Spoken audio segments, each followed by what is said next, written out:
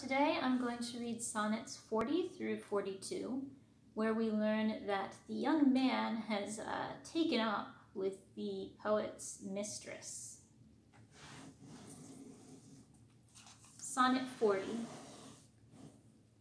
Take all my loves, my love, yea, take them all. What hast thou more than thou hadst before? No love, my love, that thou mayst true love call all mine was thine before thou hadst this more. Then if for my love thou my love receivest, I cannot blame thee for my love thou usedst, but yet be blamed if thou this love self deceivest, by wilful taste of what thyself refusest. I do forgive thy robbery, gentle thief, although thou steal all my poverty, and yet love knows it is a greater grief to bear love's wrong than hate's known injury.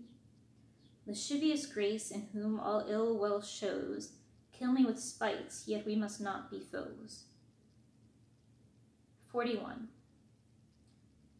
Those pretty wrongs that liberty commits, when I am sometime absent from thy heart, thy beauty and thy years full well befits, for still temptation follows where thou art.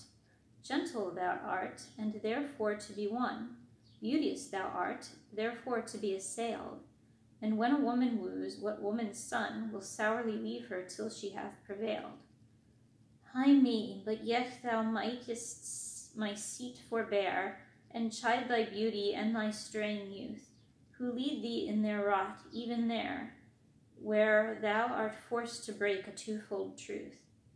Hers by thy beauty tempting her to thee, thine by thy beauty being false to me.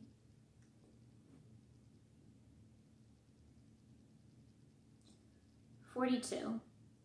That thou hast her, it is not all my grief, and yet it may be said I loved her dearly, that she hath thee of, is of my wailing chief, a loss in love that touches me more nearly. Loving offenders, thus I will excuse ye, thou dost love her because thou knowest I love her, and for my sake even so doth she abuse me, suffering my friend for my sake to approve her.